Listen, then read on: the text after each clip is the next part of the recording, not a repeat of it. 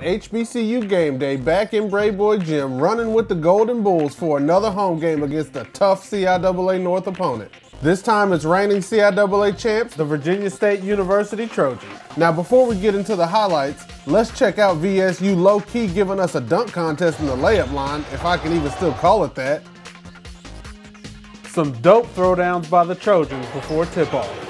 All right, early in the first, the Trojans getting it done on both ends of the court. Richard Granberry gets a nice steal, which leads to Kevin Williams finding Elijah Moore in the corner for the open three.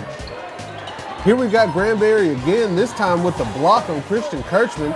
And you know what they say, you got to reward the big man on the other end. Walter Williams hits Granberry in stride for the bucket plus the foul. Still in the first, Kevin K-Rock Williams starts to heat up.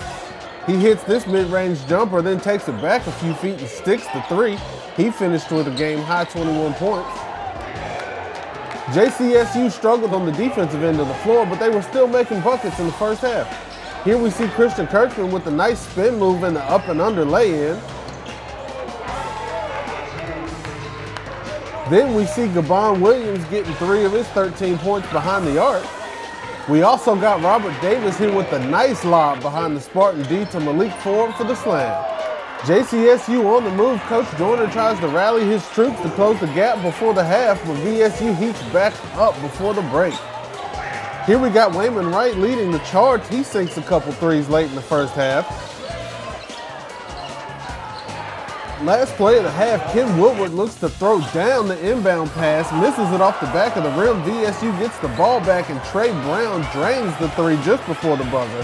VSU with a big 52-29 lead at the half in Charlotte.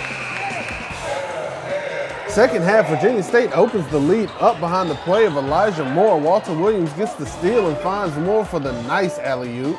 The Trojans would lead by as much as 30 at one point in the first half. JCSU was able to cut that lead in half by the final buzzer, but the Trojans still cruised to victory, 75-62. The VSU Trojans improved to 4-1 in conference play, while the Johnson C. Smith University Golden Bulls dropped to 2-2 in CIAA conference play.